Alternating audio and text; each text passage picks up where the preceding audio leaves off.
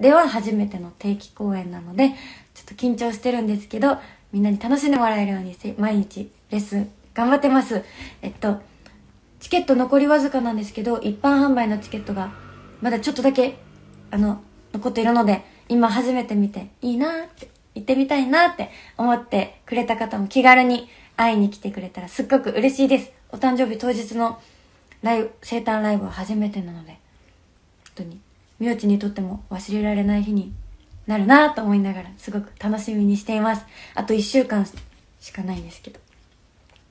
予定合う方ぜひお待ちしてます。